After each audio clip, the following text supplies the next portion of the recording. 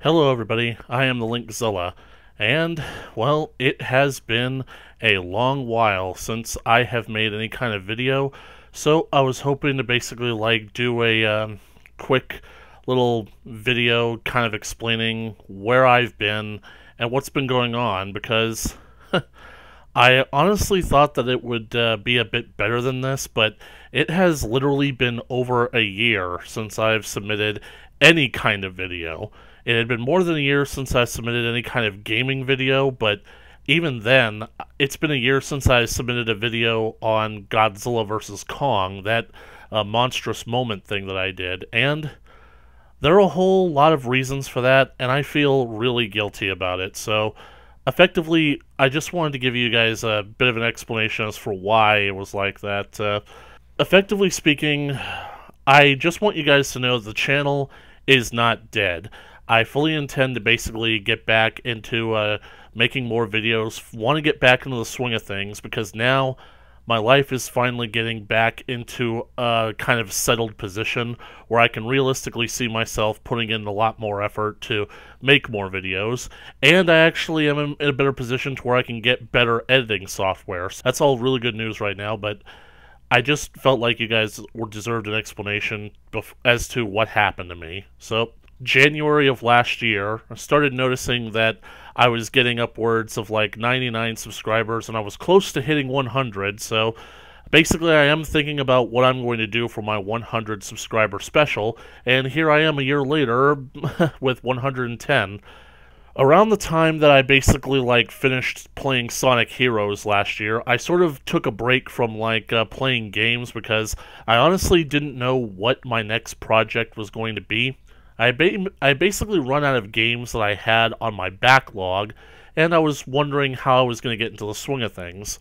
One thing that I know that I've wanted to do for a long time was basically do a second playthrough of Doom Eternal, because I have a feeling that my first playthrough of Doom Eternal was not only incredibly unfair towards the game itself, but also the fact that the playthrough I have discovered is incomplete because the files for at least two of the episodes have become corrupted, so they no longer exist. They're still on YouTube, but they're unable to be viewed by anyone. And I've even tried to download them and they just they just don't work. So I want to basically have a kind of fresh start with the game so that when I finally do my review on the game, I can be as unbiased as possible. I still intend to do a completely subjective portion of that review where I list off whatever grievances I have with the games, but that's going to be subjective. The problems that I have with the games that are objective are going to go in the review, and I'm doing it before playing the uh, the Ancient Gods DLC. Yeah, it's they've been out for like over a year now, and I still haven't played them. So, anyways, I'm wasting time here rambling. What exactly happened? As you all are aware, in July of 2020. So now that I was done with college, I had to move out of basically the college dorms because, well, let's face it, they're for students, and unless I basically got a better job, I wouldn't be able to get it anyway. So I moved out of there and I moved into a house with uh, some other roommates that basically had like a great price, but effectively speaking, it was very clear that moving into that place it that was basically going to be a temporary thing, and I basically couldn't stay there forever. Effectively speaking, I think that basically, like, I don't know what my old roommates are planning, whether or not they wanted to have a different roommate come in and uh, basically, like, stay with them, and I was basically taking up the only spare room they had, or if they basically want to sell that house and get rid of it. Either way, it's none of my business anymore because I don't live there anymore, so. The point is, I had to find a place to live on my own, and I couldn't do that while I still had my old job. So, around February, I basically realized that the clock was ticking, and I basically had until summer to get going. So, I started putting more effort into working hard, as it were. I basically approached my boss at work and basically told him that uh, things need to basically change for me. I either need a raise or I need a promotion because otherwise I can't keep this job. I have to go and get another job that's going to actually pay me better. So, effectively speaking, he was surprised that I was actually making as little as I did, and he actually did give me the raise of about 40 cents. Yeah, that's not a raise. That's what you find when someone is dropped on the floor. That's that's your raise right there. An extra 40 cents an hour. But I'm not here to bash that job. I'm actually here to basically kind of say that that job gave me what I needed because effectively speaking, it pretty much got me to buckle down and start working harder at that job. And eventually, they, well, not eventually, rather quickly, three weeks later, they promoted me. They made me into a store manager. Was better than where I was, so, and best of all, now that I was a manager, they started giving me better, they started giving me more hours and more shifts. So, that basically made my roommates happy and it also made me a bit happy because they started having me do night shifts. So, I gotta say, night shifts were probably the funnest shifts that I've done at that job because it, like, especially during the spring and the summer, the sun goes down, the area starts cooling off, and most of all, people gradually, eventually slow down and they stop coming.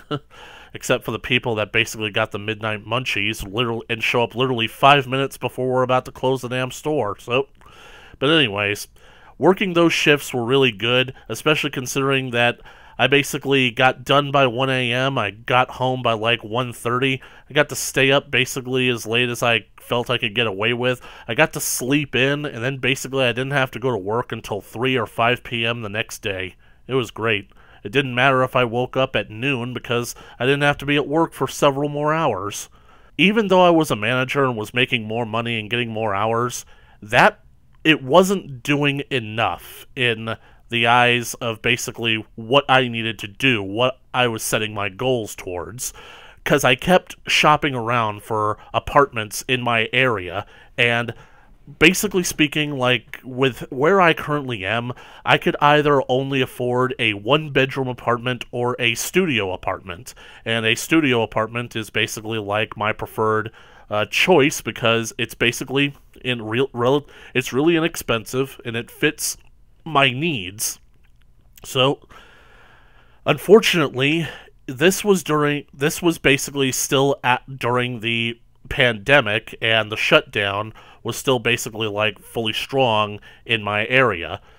So, effectively speaking, they weren't necessarily like they didn't have that many vacancies because not a lot of people were moving out and worst of all is that of the places that did have uh, a room available they basically wouldn't even consider my application because effectively I wasn't making enough money for them. I was making enough money to make the rent each month, but they require basically you make three times the rent.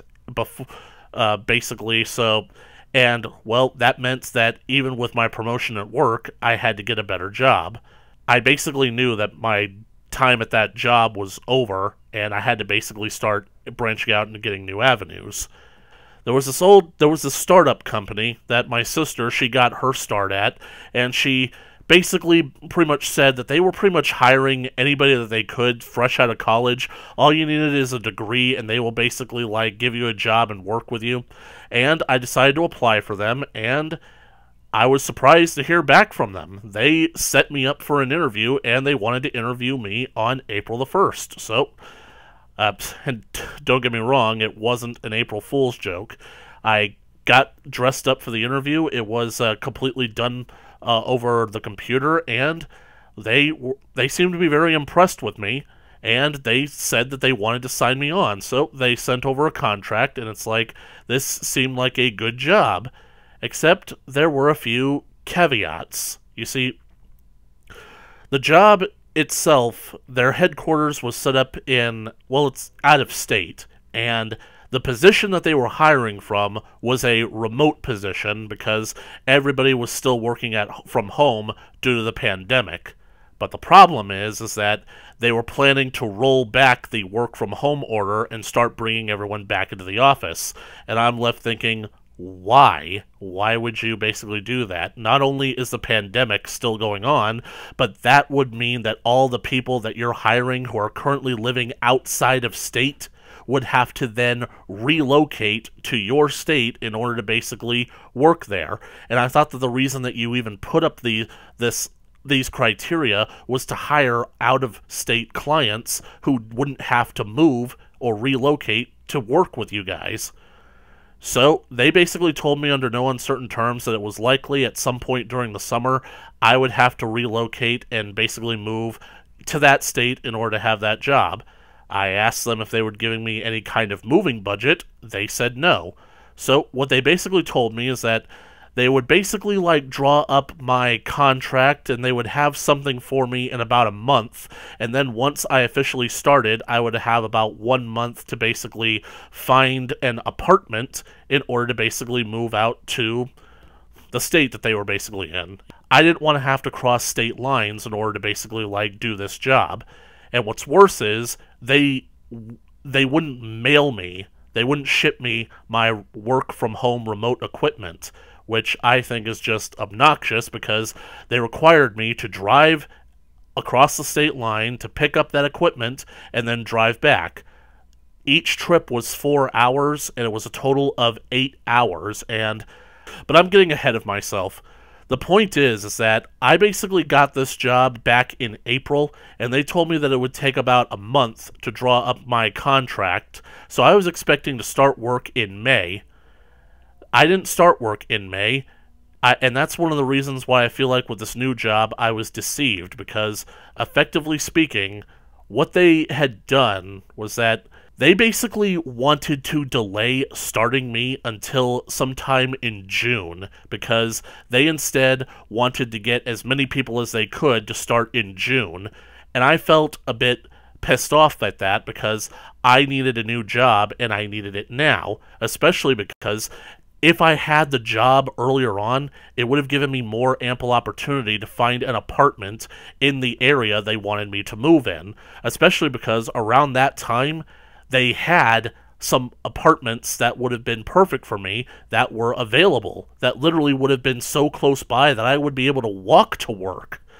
So I literally kept saying like, "Hey, do I have the job? Uh, can you guys like send me my contract already? I would really like to get started because I want to confirm that I have the job so I can start the process of moving because I can't move unless I can prove I have this new job." So they didn't start me until June, and that created a big problem because all the apartments that were available in the area, they immediately got scooped up for the summer. So and the worst part about it is, is that all the places that I looked at wouldn't have anything available until August. So I kept asking, can we push back like the mandate until for me to basically start commuting to the office until August? Because I can't find an apartment until at least August. But nope, I did that job for one month and, well, they basically said, yeah, it's uh, going to be start being time for you to start coming into the office again. And it's like, well, what am I supposed to do? I can't just like I can't just drive across state lines and move into a hotel. I can't because I, I need an actual place to stay because I'm if I move to a hotel, I'm going to run out of money. so effectively speaking, I felt pissed off. I felt like this job had misled me and I felt a little bit betrayed by everything that this job had basically done all the lies that this job had basically told me. So, especially considering that for this job, it really wasn't the pay really wasn't all that worth it because it was only mar- it was only a slightly a bit more than what I was would have been making if I had stayed as a manager at the restaurant. So, it definitely was not worth it in my mind. I definitely liked having one month where I basically got to work entirely from home. We realized that it just wasn't going to work out. So, so I decided to turn in my resignation for that job and started looking for a new job that was in the area. And the best part about it is, I was able to find one relatively easily. I hooked up with a third party hiring company that basically is, um, I probably shouldn't name them because, like, I'm, I'm not sponsoring them or anything. The point is, is that they do, like, kind of direct hire things where they put you in jobs where basically you can easily start, you can start immediately and you can start get to, getting to work and all that good stuff. And they basically managed to find me jobs that were paying much better.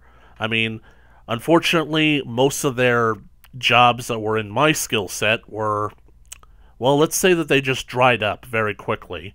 So I ended up having to do a whole lot of odd jobs that I ultimately didn't end up sticking with. Yeah, I changed jobs basically a total of five times in the last year or so, guys. And that's basically what soaked up all my free time and why, whenever I got home from work, I was just so mentally exhausted that I just didn't want to do.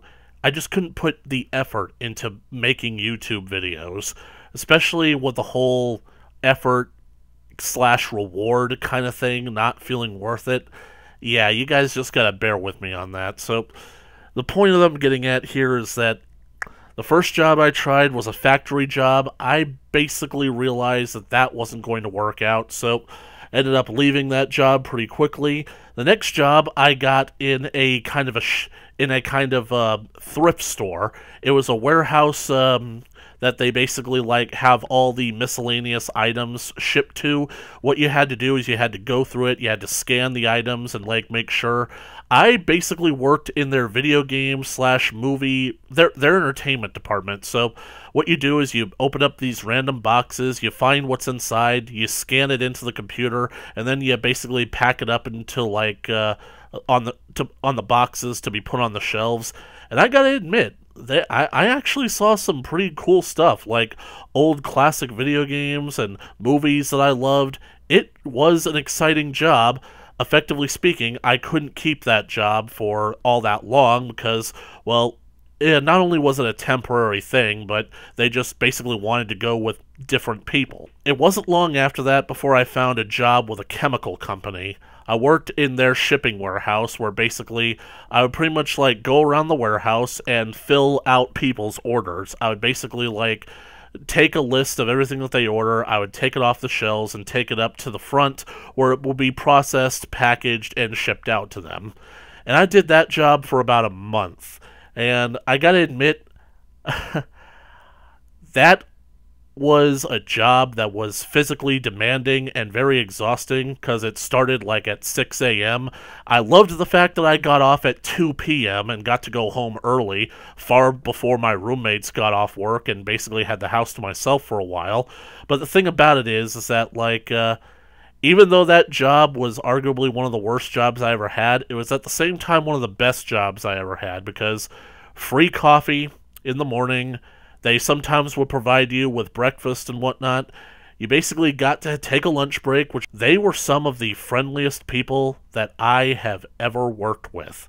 And, well, this video has already gone on for 20 minutes. I'm only halfway done with the story, so working at that warehouse basically made me say that made me think that like I have to do better than this. I have to be worth more than this. I have to do a job where I don't have to do physical labor anymore because this job is literally going to kill me if I keep this up.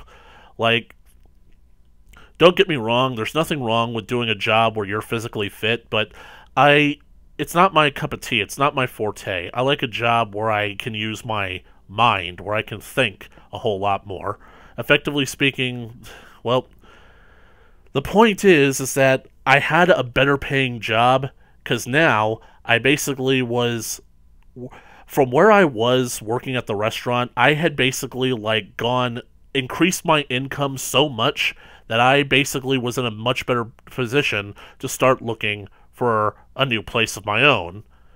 Unfortunately, however, because I still wasn't satisfied with working at this warehouse, I decided that I wanted to keep searching for new jobs, jobs that would not only allow me to work from a desk, but would also allow me to work from home. And, well, needless to say, this is where my troubles truly began, because I was hit with a setback that really set me back a whole lot.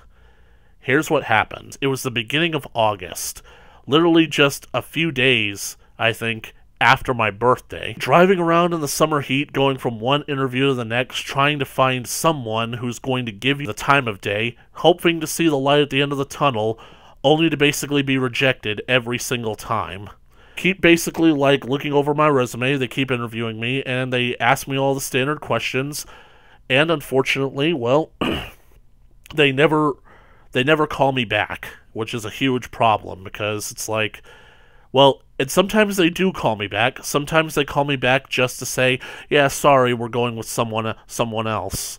I mean, I basically call I basically interviewed with a uh, medical uh, collections company. I interviewed with a bank. I interviewed with so many different companies. It's just like, please, one of you, give me a shot.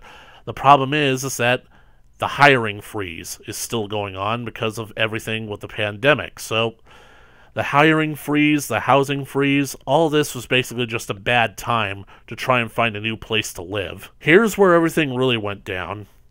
I get a few calls and a few emails on one day basically stating that there are two companies that want to interview me. And I'm thinking they want to interview me on the same day at different times of the day. So I'm going to call into work, I'm going to take the day off, and I'm going to go to both of these interviews. Now, here's one of the big problems that I have is that with one of these jobs, it was actually very local. It was just in the next city, so I could easily see myself moving back there and basically taking up an apartment and easily being able to get to and from work. Second job was basically in the heart of Atlanta. And, well, I basically don't like going to Atlanta even at the best of times, especially not with the shitty ass car that I was driving at the time. Because no matter what I basically did with that car, the air conditioning unit just really wasn't uh, enough to actually get me any kind of comfort from the summer from the summer heat.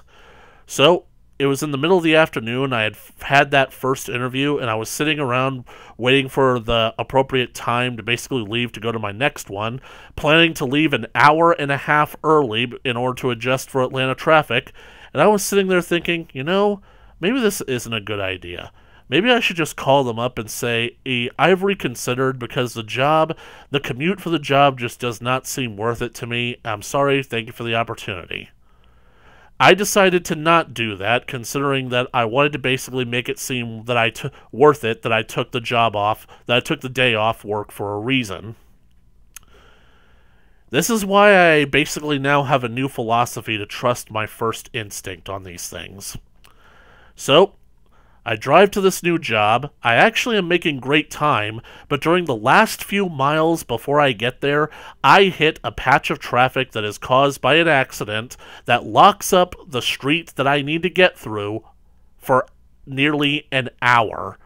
I left there an hour and a half early, and by the time I'm basically like sitting making any movement through this line of traffic, I realize that I only have half an hour to get there left, and this thing isn't moving. So I call them up and saying, "Hi, I've got this interview like at uh, at uh, three o'clock. I was wondering if we could push it back to three thirty. I am on my way, but I'm sitting in a very tight patch of traffic, and I don't know how long, how much longer it's going to be. So please let them know that I'm coming. Just let them wait for me."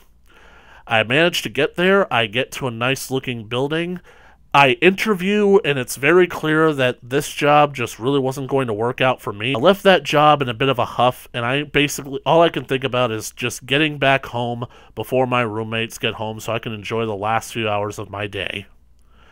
And unfortunately, I hit a patch of traffic that really kind of frustrated me, and well, I just don't know how else to say this. I got into a car accident.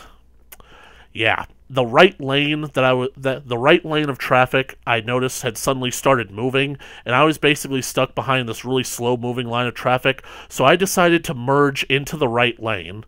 However, up in front of me were two vans, basically one following the other. The van at the very front suddenly stopped short for some reason, causing the van behind him to stop short and I was still in the middle of merging into the lane when suddenly the van stopped short on me.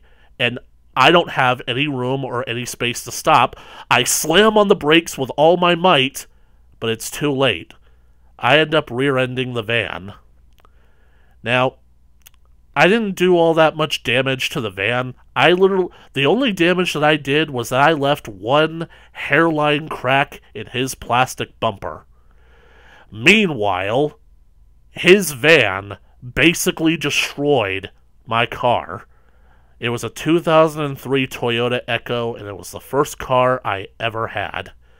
and I had basically just I had finished paying it off the year before, so the car was 100% mine.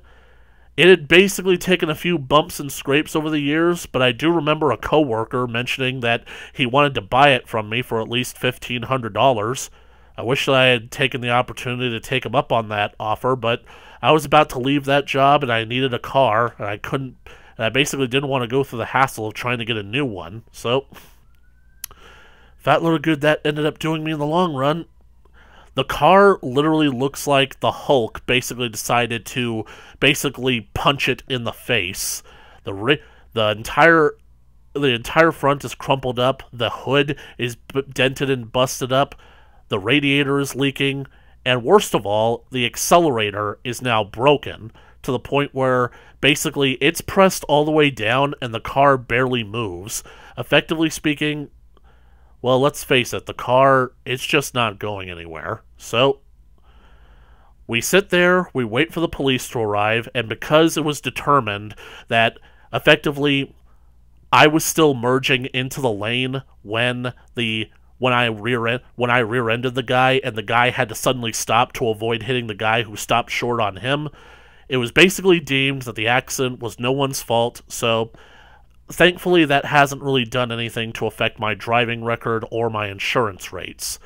But the problem is, is that I'm out of a car and insurance wasn't going to pay for it because effectively I have insurance that covers if I get hit, but not if I hit anyone else, even if the accident isn't my fault. So, really kind of feel like I get screwed on that one, but the point is, is that I don't have a car.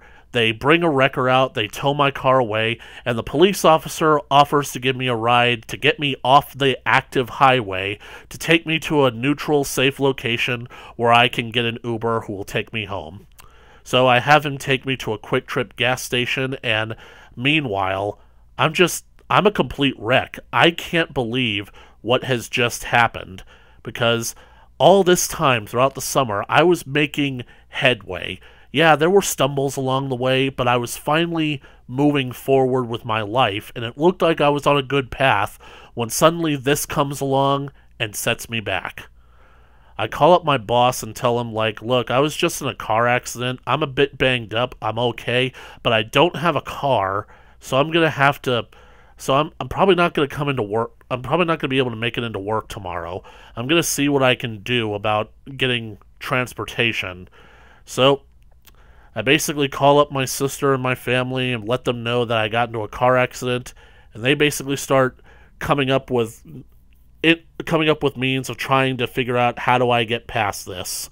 So the next day, I basically get a ride from my sister out to the wrecker yard. I see how badly the car has been messed up.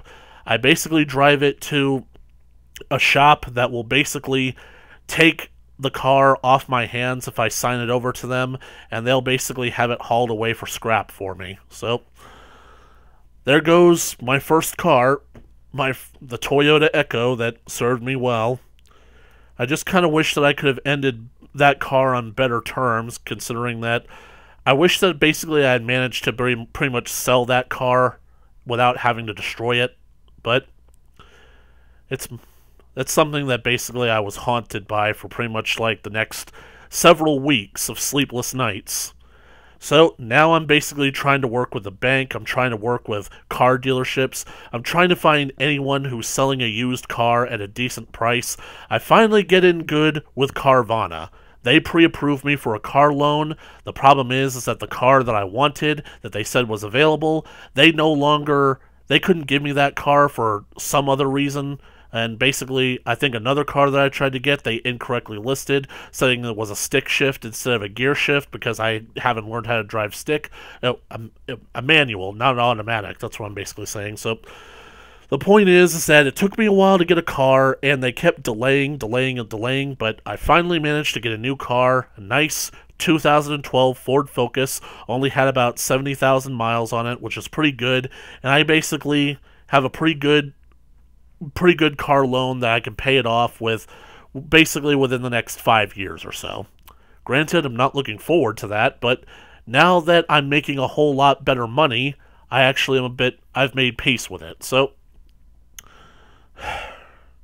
so that's where I was. I got into a major car accident back in August, on August the 5th, and it took me until August the 25th to finally get a new car and get back on the road. So that was basically like the next three weeks or so of me having to commute to and from work, taking Ubers, basically jumping through hoops, trying to basically get with my bank, trying to find a used car that basically was good enough to drive, and basically would be having to go all around searching with my brother in law to used car lots and whatnot, trying to find anything that we could in order to basically get me back on the road. So I honestly can't believe it's already been that long. The memories are still fresh in my mind. So I wanted to do an update on you guys like about that like months ago, but I decided not to because I felt like it just wouldn't be the right time for it because I basically managed to get a new car and start setting my things my my my, my time right, but you guys got to keep in mind, like, that summer was probably one of the worst summers that I've had in a while. Nope, more like ever at this point. I gotta admit, guys, with between not being able to find a car for as long as I as it took, and basically being stuck working at what I considered a dead end warehouse job, working with people who were twice my age who had been there for decades, thinking that I was going to be stuck there just the same as all of them, and basically, well, not being able to actually make any progress with my life, I actually considered going through with it. Effectively speaking, I have wanted to do it for a long time. I've actually been depressed enough to where I think that I do think about it a whole lot, and I actually thought that this time it was it was finally time. I was going to go through with it. So, well, the thing that literally stopped me from doing it was the fact that I knew my roommates wanted to sell the house that they were living in, and so so I basically decided that the house was already a bit of a fixer-upper in and of itself, so they weren't going to get the best price, even on the best of days. If basically the word had gotten out that someone had died in that house, I realized that they'd never be able to sell the house, because so I realized that I couldn't screw them over like that. I figured that maybe I had to either do it somewhere else or at least get an apartment of my own and then do it so that basically I wouldn't be hurting people that I was living with and people that I had that I cared about. I gotta admit, those were pretty dark days. So. But fortunately, with driving my new car, it actually managed to turn a whole lot of things around because I gotta admit, guys, like when I was in college, when I didn't have a car, I didn't think that I needed one because like I was able to easily walk to and from everywhere that I got everywhere that I went. But once I finally got my car, I realized how much freedom that I had. It opened me up to basically travel further and explore more areas I had never been to before and basically just do what I wanted when I wanted. And that was so liberating. So in the end, um, so, not having a car, even for as short a time as I did, it felt so constraining because I felt literally so helpless. I couldn't even go and buy food on my on my own time. I had to basically either hitch a ride with a friend or a family member whenever they were going shopping, or I had to basically call an Uber for it. And let's face it, basically calling for an Uber to take you to and from the grocery store, that's that's money. Money is like not something that you need to spend lightly. Anyways, so where's the sil- here's the silver lining. Here's where it all started to get turned around for me. I managed to basically go through all my emails to look at all the places that I had applied to. and I was surprised to find that one of the places that I applied to about maybe around the time that the car accident happened, they start sending me an email basically replying, Hey, we haven't received your reply in regards to uh, our position. So um, we're. If uh, you don't reply to this in a certain amount of time, we will consider we will um, no longer consider your application. And I'm like thinking, you guys never sent me anything saying if you wanted me or not. If you guys are interested in me, I'd be more than glad to interview with you. And so they decided that like yeah we are interested. We like what your resume has to show us. Can you come in on this day and basically give us a and uh, speak with us? So i did. I basically uh, waited until the end of work hours that day. I got my nice clothes. I drove out to marietta and basically what's so ironic is that that's where one of my sisters actually used to live and that's actually where one of my my other sister actually works. So it's I knew the area pretty well. I went to the job interview, and uh, I gotta admit, these people were pretty paranoid about the whole virus situation, but I got interviewed by a very nice girl named Taylor. I explained to her my work experience, and she deemed that I was basically a perfect fit. So I basically didn't want to get my hopes up because I had been told that before so this was in the first week of September, and I go back to work, working at the warehouse and the chemical plant. So I'm not really expecting to hear anything when I get a phone call basically saying that they want me for the job, and I can't believe it. I think I am stunned.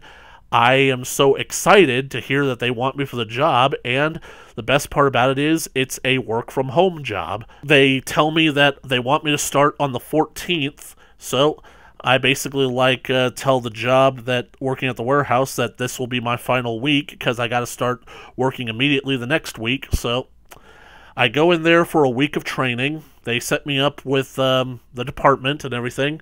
They basically like need to do a trial by fire. So the first week or so, they basically say, if you could basically make this quota, we will let you take your equipment home and we'll let you work from home. So I basically did that.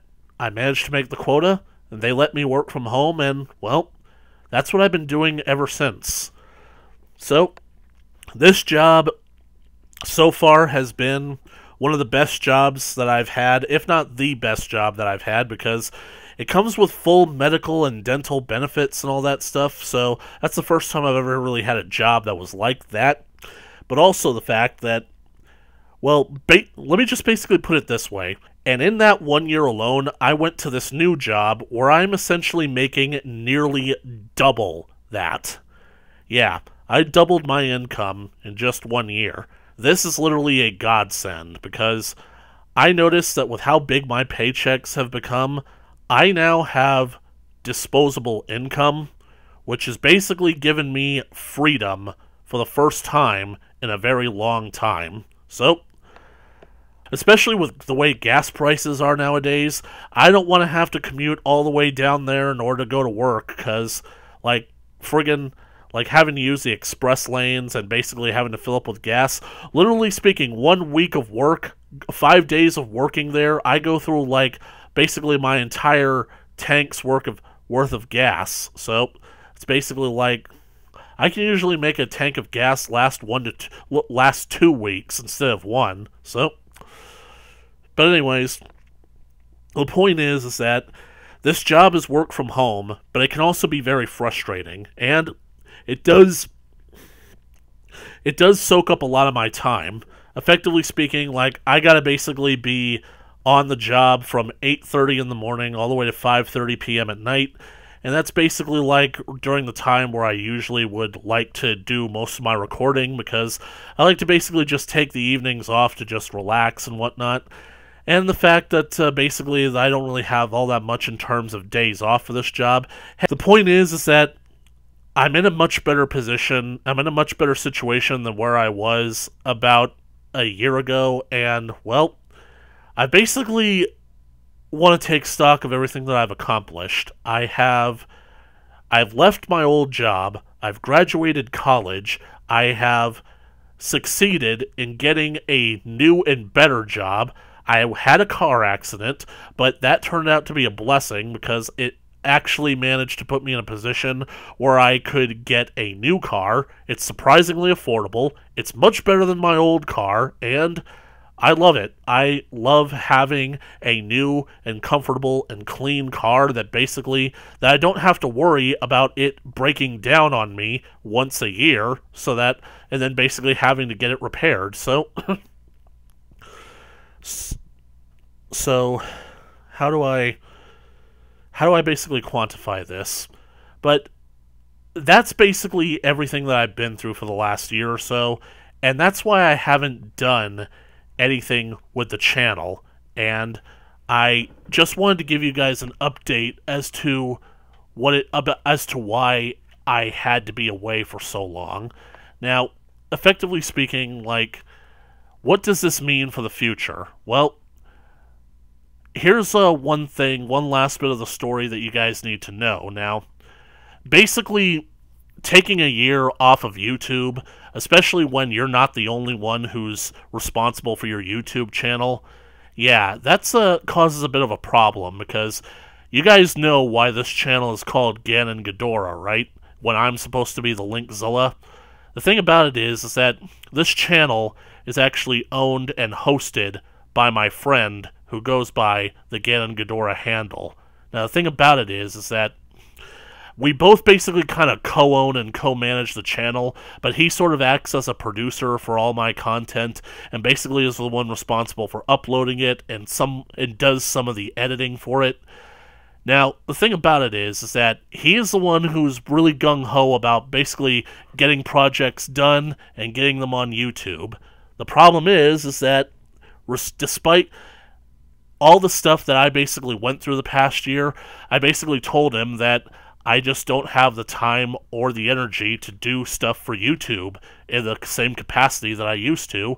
And it's going to be a while before I feel comfortable getting back into the swing of things. And Ganon more or less didn't like that. And so we kind of had a bit of a falling out. Ganon we he and I basically haven't talked for like the last few months. We both have access to the channel, so we can basically do whatever we want with it. So so I'm basically uploading this video all entirely on my own. But so the thing about it is, is that I am in a much better position than I used to be. So I would really like to reach out to Ganon in order to tell him that I'm ready to basically come back and start doing stuff with the channel again if you're willing to do it. So but for for right now, I just don't know what he's got going on. I don't know what he's up to. I don't know if he's moved on or is still bitter about it. So, effectively speaking, like it's going to be a while before I can ultimately say if we're going to be back at capacity. So, for what I can say is that I'm going to try to go at it on my own. I'm going to try to basically do some easy, simple, and clean videos that don't require all that much in terms of editing. So, uh, but I guess that's uh, pretty much it. That's pretty much all I have to say. I basically had a lot of experiences this past summer, a lot of ups and downs, and well, I'm I may have basically lost a car, lost a whole lot of jobs, lost a friend, but at least now I'm in a much better position and I'm here to basically like start getting back into the swing of things and start doing YouTube again. So all I don't really know what I have planned in the future because I do know that there are a whole lot of games that I want to get to. I know that there's a certain 20th anniversary that's going on this year that I want to get it on, but I need to basically like talk it out with some friends because I want them to be a part of that. So, anyways, all I can basically say for now is that I really am looking forward to getting back into YouTube. I hope that you guys can accept my um, my explanation as to where I've been. I apologize for not updating the channel and not really saying or doing anything. And I just thank you guys so much for sticking with me for so long. You guys, I can't tell you what it means to me to know that I have 100 subscribers on this channel, knowing that you guys are actually tuning in for my content. So, I really, I, am still in the process of figuring out what I'm going to do to help you guys to celebrate that because now that I've basically got this new job, I've managed to move into my own new apartment. It's a studio, so it's small, but it fits my needs. So right now, I'm in the process of unpacking all of my gaming equipment, getting set up again, and I'm basically ready to just get back to work. So, hope that you guys are looking forward to seeing what I have to do in the future. And I'm going to basically do something special for you guys to celebrate getting 100 subscribers. And I really hope that you guys continue to stick around and watch my content. In the meantime, I don't really know what else to say except, well, let's play some Doom.